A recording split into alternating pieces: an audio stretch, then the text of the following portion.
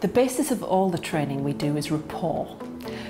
When people are communicating well, they naturally get into a physical symmetry and what's happening inside is their brain's mirror neurons are also activated and this allows people to start to think and feel in a similar way. What's the theme here?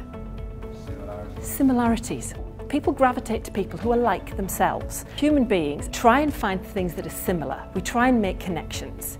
And the sooner that we do that, we, we find that things get easier. And that's called rapport. It means your brain waves get onto a similar level, communication becomes easier.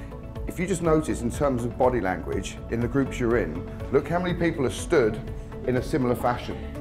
There was a, there was a point earlier on when you were stood there, when, when three of you were like that, so this is going to be important in the second one. We're talking about rapport skills in terms of mirroring and, and body language and naturally the way you stand and present yourself. Mostly we don't consciously pay attention to what someone else is doing, but when we do, and we mirror their behaviour, it can make communication much easier. The other thing that's interesting as well, if you get right alongside somebody, you're on the same team.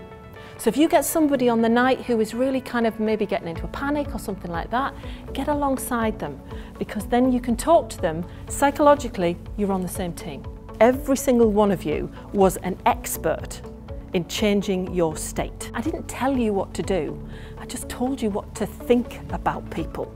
I'm naturally quite an outgoing person and to have to reverse that to be quite introverted, that was the bit I almost found quite uncomfortable, a bit more unnatural, but it, it did give you a perception as not everyone has the same characteristics as you, so it gives you an insight as to how other people might react to things. I think it's supposed to make you come out of your comfort zone so you actually realise what it's like and the actual experiences are quite raw within the role play itself. I found it extremely fascinating, I really did.